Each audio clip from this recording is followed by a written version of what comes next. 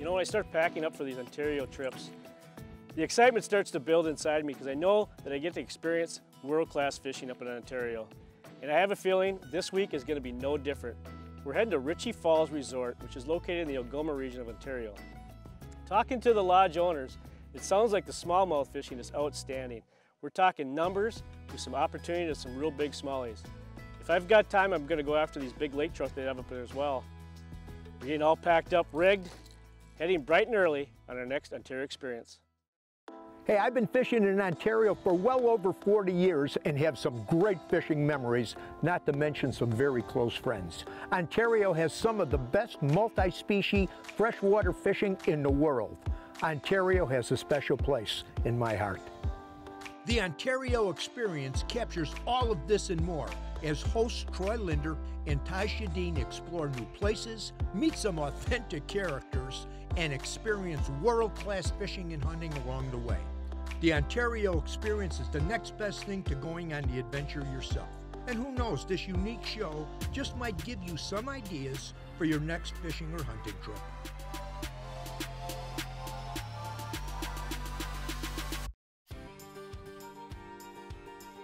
You know, I couldn't have been more excited on my drive up to Ritchie Falls Resort in the Algoma region of Ontario. I had talked with the camp manager and had seen some great photos of big fish on the web. So to say my heart was racing would be an understatement.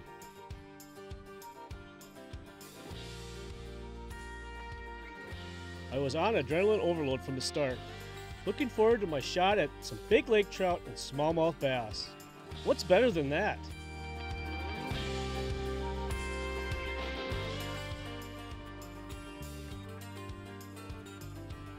And of course, there's the chance to unwind at the first class lodging with gorgeous surroundings, all around good food, and the amenities of home in each of the deluxe cabins.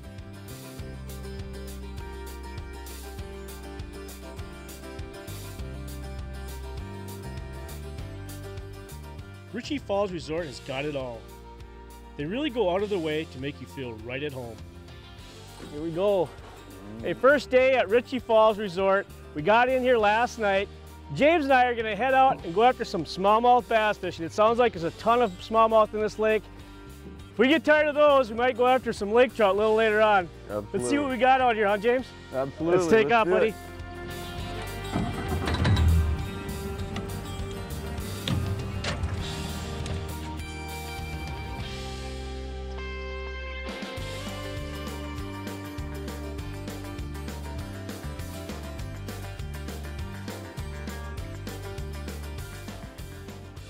Go. that didn't take long, James. Third cast. Smallmouth. Oh, not wrong at all. Not a real big one, but these things fight so. For their size, it doesn't matter. As you can tell, they fight as well as any fish does. There we go. First fish at Ritchie Falls. It's a good start. Third cast in. James got his on them already. Again, they get, they're plenty in here, and I think they get bigger, you said? They're Oh, probably yeah. three pounds. Yeah, three, four pounds. Uh, they were introduced in the lake uh, about seven years ago. Not really sure how they got here, but they seem to be taking off and they're not affecting the trout fishery at all. Third cast, good start. Ritchie Falls Resort.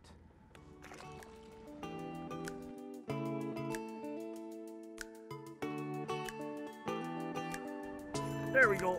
I think we got, uh, we figured out where they're at there, James. yeah, yeah, absolutely. You can actually see this whole edge is just a rock shelf and it drops right off into deep water. And these smallmouth are sitting right on that inside drop. Boy, they just thing fight. Oh, these are fun. That's a better one there. Man, look at those things fight. They just absolutely tug. Sweet. Oh, he fell off the lure, right, or the Rippin' Rap. Sweet. Again, coming right off that rock shelf. You just absolutely crushed that Rippin' Rap. What a beautiful fish. They, I mean, they fight like they're five, six pounds. This cold water up here, look how chunky those things are. Beautiful smallmouth, fun to catch. Let's get her back, get another one. Our, uh, our bass in here are basically feeding on the uh, small lake herring, suckers, and uh, the healthy population of small perch in here. So the uh, color of the lure there matches what they're eating and that's why they're hammering it pretty hard.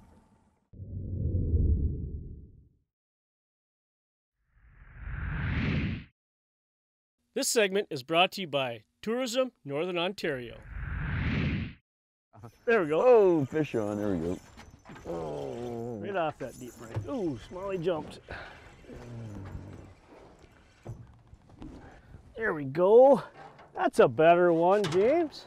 Boy, I tell you what, it's been a great day. These fish have all been hanging on the shoreline deep breaks. We fished some deep rocks, and it just seems like all these smallmouth are hanging on the, the deep drops off the shoreline breaks. This is probably one of the nicer ones we've caught today. We've caught a bunch of them. If you want to come and catch smallmouth after smallmouth, and a lot of them, and they all fight like five, six pounders, Ritchie Falls Resort is a great place to come. Smallmouth and lake trout all in the same area.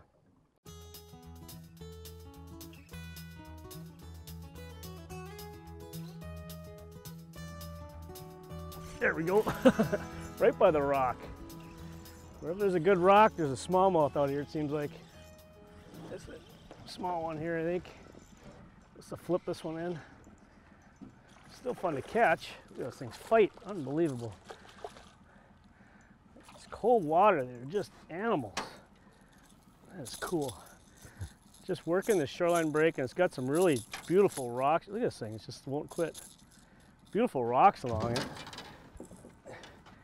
You don't really go on too far because there are so many smallmouth in this lake. Yeah, Ritchie Fall. Look at just all this like fat. Every single one doesn't matter if they're a pound or three pounds or four pounds. They're definitely eating well out here, James. Oh, absolutely.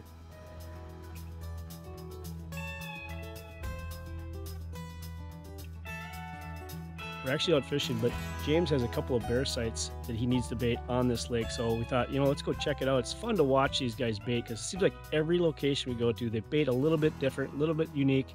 So it's kind of fun to see how everybody does it a little different. And typically they're they're all successful. Some are more successful than others. But uh, let's go check out what he's doing. So he's got popcorn in there. What do you got there? Ritchie Falls secret Ritchie Falls scent. Special, special scent. We spray everything down, popcorn, back out, and uh, our hunter's set for the afternoon. Nice. She's got that baited. Super cool just to see that part. But if you look up there, real tough to see. They've got that stand hidden really well.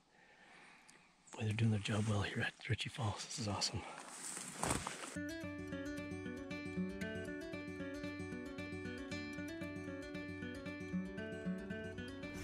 We go.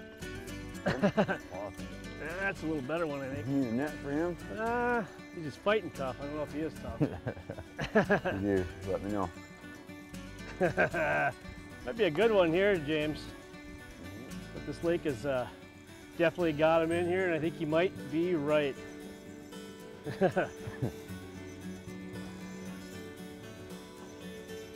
Boy, sure fought like he was huge.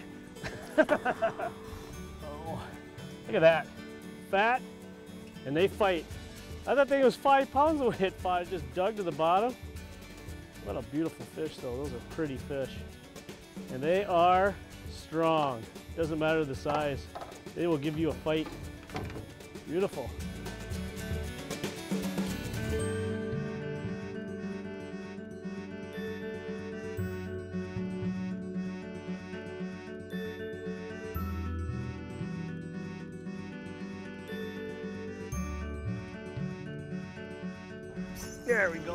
Go. Get 'em? Got that one.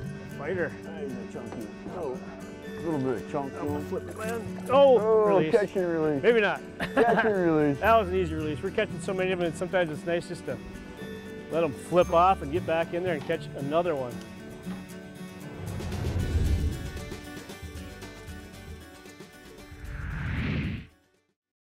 This segment is brought to you by Go Fish, Ontario, Canada.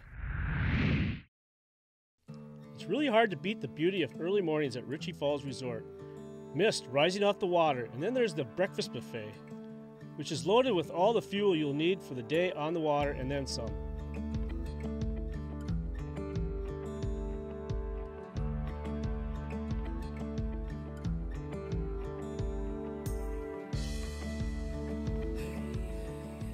The main lodge is a great place to hang out, shoot a game of pool, listen to someone play guitar, and share the stories of the days on the water.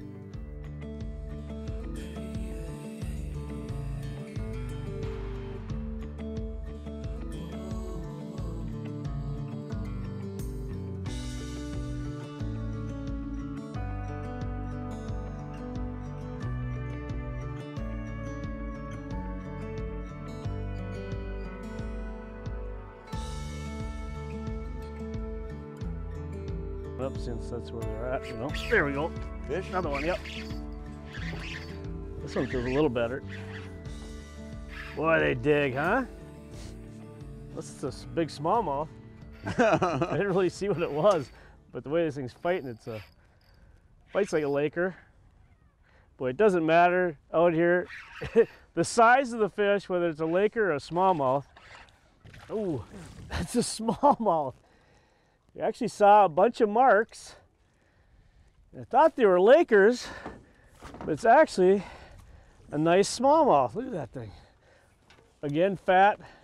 It's tough to tell because those lakers fight just as tough as these smallmouth do. I actually missed one. I had one on, came up to the surface and he shook me. And I thought, wow, a lake trout shook me. And I put it back down and well, he wasn't getting off. And boom. Jeez, tough mouse. Look at that. They're getting bigger, James, They're getting bigger. Getting fatter. That's where those nicer ones seem to be hanging out. It was right out in the, the deeps where we just went over this hump. It came up to like 19 feet, went back down, and these smallmouth are just stacked out on that deep hump. Cool fish. Fight like crazy. Good start to the day. That's a nicer fish.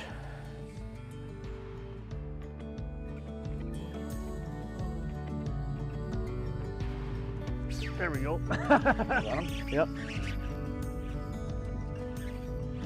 Gotta keep him down. He isn't. There's another nice smallmouth. I think we figured out where the big smallmouth went. They aren't up in the shallow. They aren't up in the lake, the shoreline breaks. They are out deep. This is a nice smallmouth here. you want to catch big smallmouth? I know where to go. Ritchie Falls Resort, baby. Look at that thing just dig digging like a lake trout. they are just stacked out there. Ooh, that's a beauty. Oh, oh you got him! nice job! Like, oh, we lost him! now, this is what Ritchie Falls is well known for right here, besides the lake trout. Look at that tank! Look at the size of that smallmouth. I've lost like three of them like this. They keep coming up and they throw me. I just got a single hook carrying because we're fishing for lake trout. How fat that thing is. That is a tank. There's a legitimate four, four and a half right there. Whoa, that is a dandy fish, buddy. That's I think we got a program for these smallmouth. Let's get a quick photo of this one, get her back in. Just keep going over that hump because they are absolutely stacked on these huge smallmouth. They're just loaded. There's a reason for that.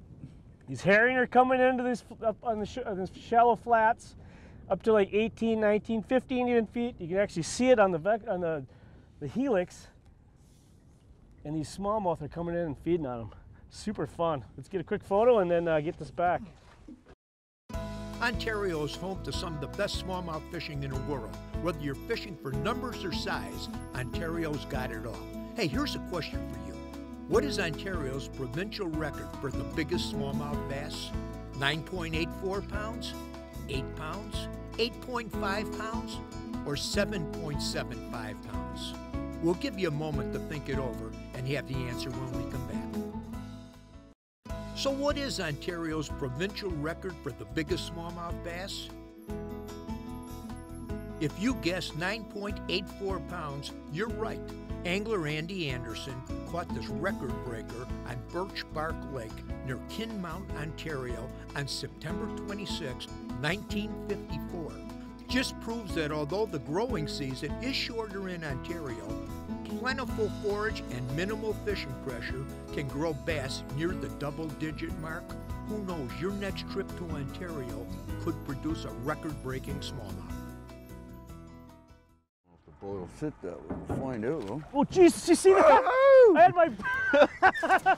Oh! I, I think these uh, fish are aggressive. Yeah. We're only about six feet right now, but I had my bait just dangling, waiting for James to get us in position. he did it again. He's catching my fish. They keep falling off my lure, and he's got it, the net ready. So this one, I actually had my bait just dangling over the side of the boat. Try, uh, James was trying to get us in position. We were only, we got up about eight feet of water, but of course smallmouth are up there too. And I hear the splash, looking at my rod in my hand, and this one it. So I think top water, I think will work too, but uh, that is amazing. Today has been just an awesome smallmouth day. We got them shallow, and now we're getting them deep, and now we've got them on top water, even though this jig really isn't a top water bait. Just just dangle it over to the top side of the water, James, and they come up and get it. That was that was super awesome. We get it back and actually try to jig one up this time. There we go. That one didn't lift. That one feels like another nice one. Well, that's a trout. I think this is a trout. We might have our first lake trout. Oh, oh no! I stand corrected. I saw it go by. I thought, boy, that looks like a longer fish, but no, it's just another big smallmouth. Look at that thing. You know how fat and healthy they are. Every time we drift, I tell James, I go, I bet you we're gonna get at least one more on this drift. Had like three or four swing at it. Man, they're just feisty. The bigger ones are definitely in the deeper water right now. We got up in eight feet and we got one of the smaller versions. Go out deeper and this is what you get, these big tanks.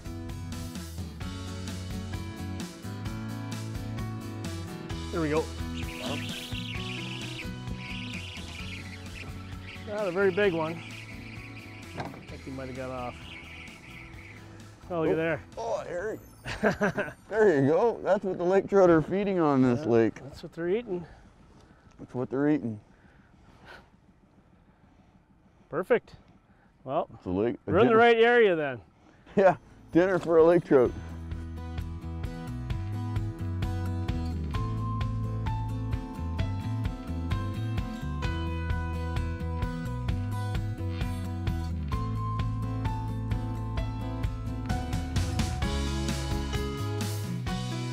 We go, oh. right off that big rock. Saw that thing come right off Better the rock. Turn my radio cool. off. We don't need that kind of com. We don't need that commentary. that was cool. that thing came right shooting right over that right out of that rock when I went over the top of it. I can probably lift this one. Look at there. Oh, that was cool. Actually, the first one I got off a deep rock. This thing went, uh, had my Rippin' Rap go right over the top of the rock, and that thing uh, shot straight up Thing, thing shot straight up out of that rock and just crushed it. It was pretty pretty cool to see when you got good polarized glasses. You can see all that action underwater. You see your bait absolutely disappear, but that was that was fun to watch.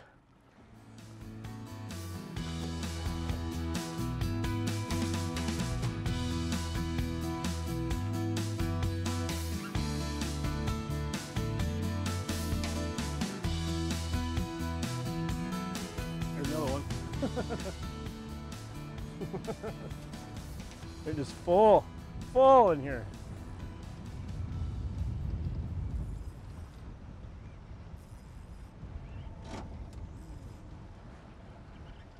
Need net for him? Oh, I can get him. No. He's just a digger.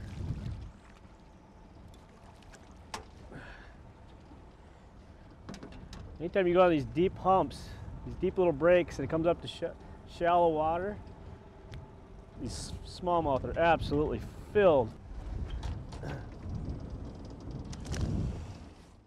As you can see right now, it's raining at Ritchie Falls Resort, but you know what? We had a great week of fishing.